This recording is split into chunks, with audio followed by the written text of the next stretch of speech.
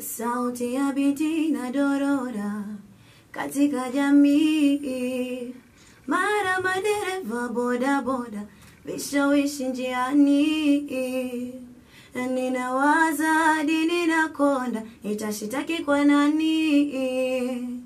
Wazazi na waogopa, kwani wakali.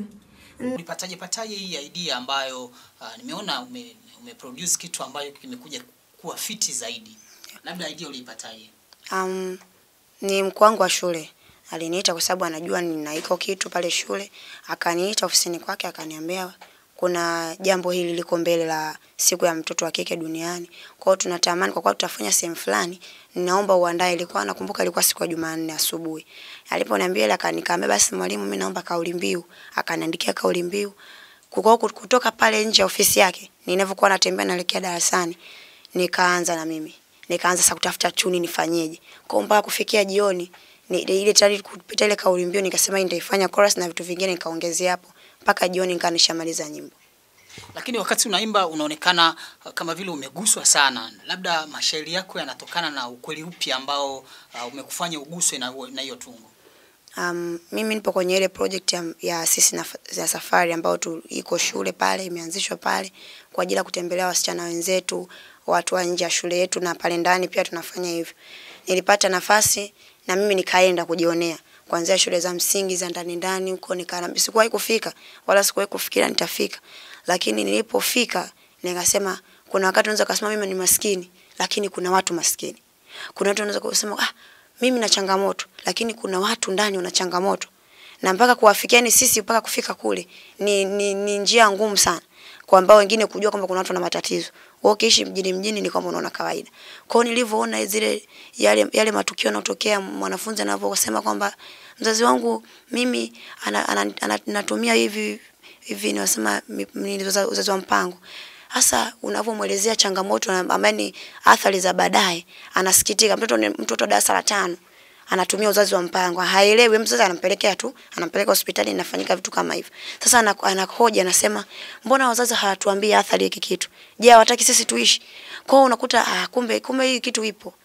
Kwa ile kitendo cha kuendelea kuendelea kuwakaa na, na, wale, na wale watu nikajua kwamba ipo sababu sauti ya hawa watu wanaweza wasisikike wao, mimi kupitia mimi, kwa sababu nimeona, basi ni, ni vizuri nikatumia kipaji changu kwa kuonyesha jamii kwamba kuna jambo linaendelea ambalo mmelifumbia macho, lakini lipo na lina athari kwa watoto wa kike. Kwenye wimbo wako umewagusa wazazi, umegusa jamii, lakini pia ukagusa kina dada ambao ni warembo mtaani. Uh, unafikiri ni makosa gani ambayo hasa hasa wanayafanya ambayo yanatokana sana na urembo wao na kuto kuyafahamu uh, athari zake? Unajua watoto wa kike tuna tabia kwamba ukishaambiwa wewe ni mzuri basi, yani hiyo inakuwa sehemu tosha kwamba mimi ni mzuri. Kwa hiyo boy anapokuja kukuapproach unaona kwamba yes, kumbe ni true mimi ni mzuri. Lakini hata wazazi pia, kwa hiyo unakuta unaji, unaji proud kwamba okay. Kwa hiyo unapokuwa na boys wengi, unapokuwa na maisha yale ya mahusiano kwa wakati huo, wewe unaona ni sawa au umri wangu unaruhusu si miaka kumi na nane tu. Umri wangu unaruhusu. Kumbe un- kuna kuna maisha yani kuna namna ile ni gap tu yani kuna namna unatakiwa kuna vitu ambavyo unatakiwa kuvifanya kwa wakati kwa wakati huo. Lakini wewe tena ile akili na vitu kama sana sana mahusiano psychologically unabadilika. Yani hata iweje.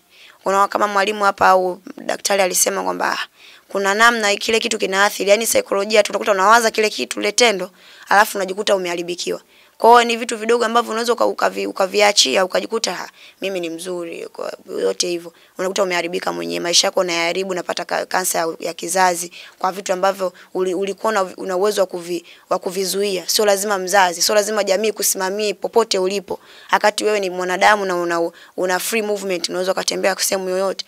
Kumbe akili yako ungeichuni kwamba okay mimi ni mzuri najijua. Sasa unataka nini ukijisimamia hivyo hata boys wanasema mm, okay huyu anamsimama. Hakuna mvulana anayetaka kwamba wana ah, yule yule ah. wanataka yule ambaye anamsimama hata akisema anamwambia rafiki yake bwana yule anamsimama. Anakuwa ana feel proud. Hata mwenyewe unaonekana ni mtu muhimu katika jamii kwamba unajielewa wakati tunaenda kumalizia mm. uh, wewe ni mwanafunzi na ni kijana ambaye tunawategemea kwa, kwa kuwa ni watu ambao mnajikita mna- zaidi kwenye masuala mazima ya elimu tutakwenda kuelimisha jamii ili iweze kubadilika kwenye nyanja nyingi sana lakini nataka kufahamu jambo moja je unapata fursa ya kuwaambia vijana wenzako walioko shuleni namna gani maisha yanatakiwa yaende hususani kwenye kwenu nyinyi wanawake ama wasichana Ah, sisi tunajua kuna, kuna sisi wanafunzi tuna story kuna kupiga story. Kwa hiyo sio lazima umchukue mtu ukakaa naye kuandika unaandika kama anavyoongea mwalimu au una- unamwelekeza kama anavyoongea mzazi. Sisi tuna story. Wewe unajua kuna hiki.